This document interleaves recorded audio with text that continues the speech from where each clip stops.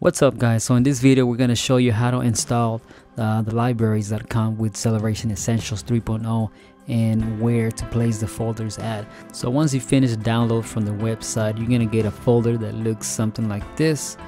The first folder you're going to see is going to be the CE 3.0 concert patches.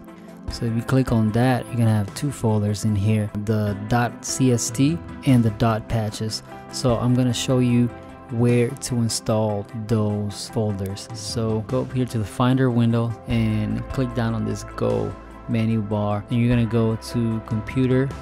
From here select your hard drive go to users click on the user.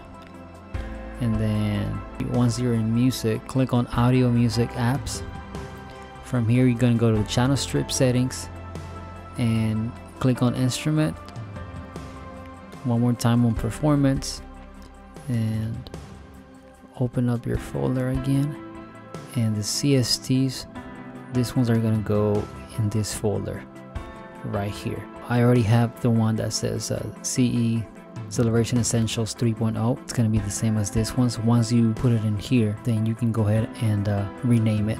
Uh, I'm just I'm not gonna do it because I already have it there. But as you can see I'm gonna open this folder here and it has the exact same folders and patches from that template. So that's one way to do that. Now you have to put the that patch uh, folder in a different location. So you're gonna go back to music. For music you go back to the audio music apps. Now right here in this section you're gonna have to go to the patches. So click on patches. From the patches go to instrument. And where the instruments are at this is where uh, you want to save your your those settings. So right here I already have those set there. CE 3.0 patches and it's the same folder as this one. So all you have to do is click and then drag it and drop it into that folder and that will be there. So when you open up Mainstage this is what's gonna happen. So now what we just did was install all of these patches into your patch library. So even if for any reason you were to delete any of these, they're still in your computer. So here we go. Let me just show you how to find them. And uh, we're just gonna go ahead and create a new uh, patch. From here, you're gonna go to user patches. From user patches, you're gonna go to the instrument folder and right here is gonna be the section where you have all of those patches so as you can see right here there's the celebration essentials 3.0 patches. So all the patches they're going to be right here. And this, these are actually folders. So as you click on the folder you're going to see the patches right there. So all your base patches the c celebration is 3.0 that is that's going to be this one here the first one you have there.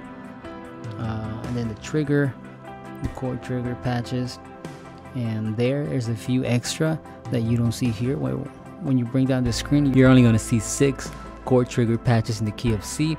Uh, but in reality in the folder there's a few extras. There's a few in the key of D key of E and key of F.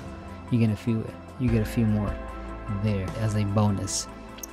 Uh, and then your delay pianos the more your multis which are these ones here at the bottom. So all of your patches are going to be here uh, for the CSTs those are the ones uh, you can pull up from channel strips. So if you were to delete let me select this one here. If you were to delete uh, one of these right here the CE ARP6 for any reason uh, as you can see on this middle uh, inspector window it came out. So this this, this ones are going to be there. So let's go ahead and create one blank uh, instrument channel strip setting. And from here you're gonna go to user channel strip settings performance and find the one that says celebration essentials 3.0 patch or whatever you named it. From there are these are all the patches right there. So you can easily pull them back out if you need it to uh, to bring them out in case you erased uh, some of these folders right here. So we also have a PDF file here on the website uh, that has the same instructions, the same installation guides. So the one that says uh, the nanoKONTROL2 installation guide, click on this and it's gonna download a file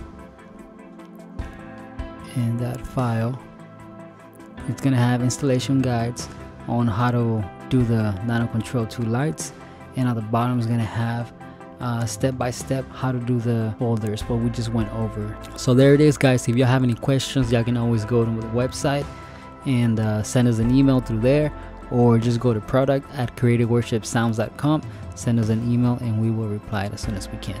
Thank you and have a great day